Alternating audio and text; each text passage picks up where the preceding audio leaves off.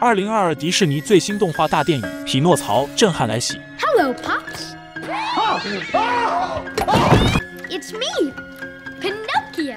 老头做梦都想不到，自己做的木偶人居然活了过来。原来在深夜时分，一道耀眼的蓝光射进屋里，透过镜子折射到木偶身上，木偶瞬间漂浮在半空。待蓝光消散之后，木偶居然自己动了起来，但他还是显得很笨拙。就在这时，一道蓝色的光芒飘进屋里，原来这是传说中的蓝仙女，是她用魔法赋予了木偶生命。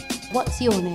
My name is Pinocchio. 原来老头的善良打动了仙女，于是仙女复活了匹诺曹，让他来陪伴孤独的老头。仙女告诉匹诺曹，往后一定要正直诚实。为了帮助匹诺曹，仙女还让小蟋蟀担任匹诺曹的良心。随后，仙女便消失在夜幕中。这时，老头惊醒过来，等他发现匹诺曹活了过来后，他显得特别开心。毕竟当初他做这个木偶，就是为了纪念自己的儿子。他把匹诺曹当成儿子一般。虽然匹诺曹很是顽皮，但老头依然宠爱着他。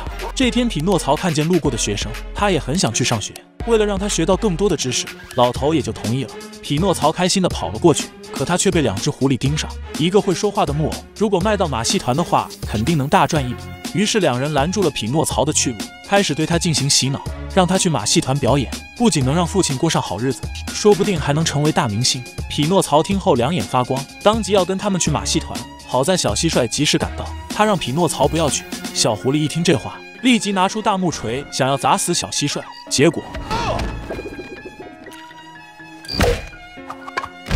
在小蟋蟀的解释下，匹诺曹也醒悟过来，决定再次前往学校。但匹诺曹进入学校后，却被老师扔了出来，并直言这是小孩来的地方，木偶只能去马戏团。小蟋蟀见状，刚想上前安慰，不料被狐狸两人困在瓶子里。他们来到匹诺曹面前，再次开始了洗脑。像他这种木偶人，如果到了马戏团，肯定能成为大明星。为了能让父亲过上好日子，匹诺曹就这样来到了马戏团。刚开始他还很不适应，闹出了不少笑话。看着台下的观众，他有种莫名的恐惧。好在他的学习能力极强，很快就赢得了全场的掌声，同时也给团长带来了丰厚的打赏。因此，他成为了团长的摇钱树。为了不让他逃跑，团长把他关进了铁笼。好在小蟋蟀再次赶到，但匹诺曹却不承认错误，还在不断的说谎。结果他的鼻子越来越长。这个木偶要越狱，只见他不断的说谎，鼻子变得越来越长。原来他是想拿到墙上的钥匙，靠着这个优势，小蟋蟀成功的拿到了钥匙。原来匹诺曹之前说的谎，全都是他的计划。此刻他非常惭愧，不断的对小蟋蟀道歉。 I'm sorry, Jiminy. Pinocchio, but thank you for the apology.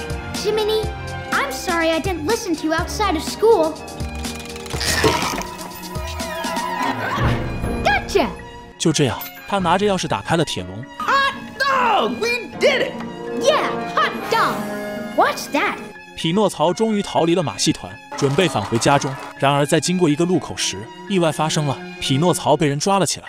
马车上有很多孩子，他们是要前往欢乐岛的。原来那是一个没有管束、可以为所欲为的岛屿。车夫向他介绍道 Pleasure Island will be the most life altering experience you will ever have.：“ 匹诺曹听到后也想去那里看一看。经过长途跋涉，终于来到了欢乐岛。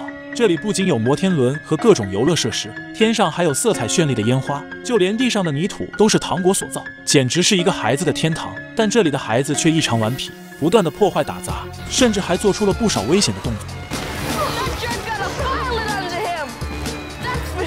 这种恶劣的行为让匹诺曹心生反感，看着熊孩子的打砸行为，顿时让匹诺曹产生了回去的想法。与此同时，小蟋蟀也来到了这里，但却没看到孩子们的踪影，只看到两个怪物在街上抓驴。小蟋蟀一时没想明白，他打算先找到匹诺曹再说，结果不小心掉入了下水道，竟意外进入了欢乐岛的地下基地。这里有很多怪物，他们把驴装进笼里，准备卖到国外赚钱。而那个带孩子们来这里的车夫，就是幕后的黑手。小蟋蟀顿感不妙。另一边，匹诺曹正在和男孩打着台球，可男孩突然长出了一双大耳朵。这个男孩突然长出了大耳朵，紧接着又长出一条驴的尾巴。匹诺曹见状，刚想提醒，结果男孩一回头，居然变成了驴的样子。男孩看到镜中变异的模样后，顿时非常害怕，他知道自己已经落入坏人的圈套里，他急忙让匹诺曹救救自己。可下一秒，他的身体再次发生变异，由人的身体彻底变成了一头驴。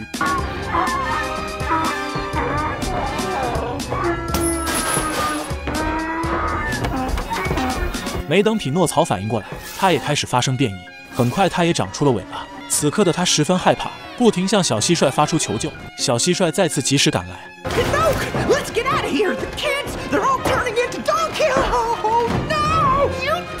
两人急忙逃离这里，可男人带着怪物在后紧追不舍，将他们逼到了悬崖边上。危机关头，匹诺曹抱着小蟋蟀从悬崖上跳了下去。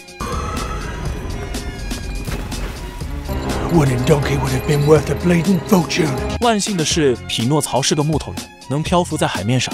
在小蟋蟀的教导下，匹诺曹很快便游了起来。等他们回到家后，却发现大门紧锁，父亲也不知跑到哪里去了。屋檐上的乌鸦告诉他们，那天匹诺曹没有按时回家，老头四处的寻找，在得知他们去了欢乐岛后，便独自出海去寻找他了。为了找到父亲，乌鸦用绳子带着匹诺曹，开启了寻找父亲之旅。没过多久，小蟋蟀就发现了老头的小船，于是匹诺曹不停地大喊。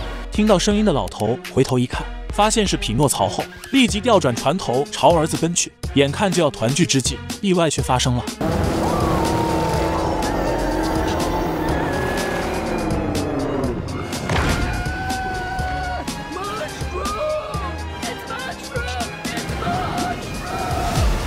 一只巨大的海怪将两人吞进了肚里。看着恐怖的海怪，小蟋蟀也不知如何是好。而匹诺曹和父亲终于相见，但该怎样逃离这里成为了最大的问题。匹诺曹突然想到一个办法，他们把木头堆积起来，然后匹诺曹摩擦生火，瞬间燃起了熊熊大火。火焰上的阵阵浓烟让海怪顿时鼻痒起来，他们则趁机划着小船逃离。终于在一个喷嚏过后，两人成功逃出升天，但小船却被海水直接拍成了两半。高高的海浪把父亲卷入海中，危机关头，匹诺曹潜入海水中，将父亲救了上来。但危险还未解除，海怪朝着他们冲了过来。匹诺曹看到远处的山洞，顿时想到一个好办法，他双腿化身为螺旋桨，带着小船朝山洞驶了过去。海怪瞬间暴怒，疯狂地向他们袭来。眼看就要被海怪吞噬，千钧一发之际，匹诺曹再次加速。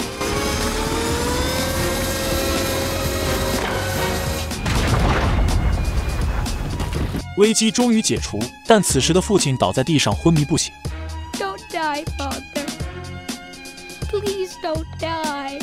伤心的匹诺曹不禁流下了泪水，泪水滴落在父亲脸上，瞬间泛起蓝色的光芒。就在匹诺曹伤心欲绝时，神奇的一幕发生了，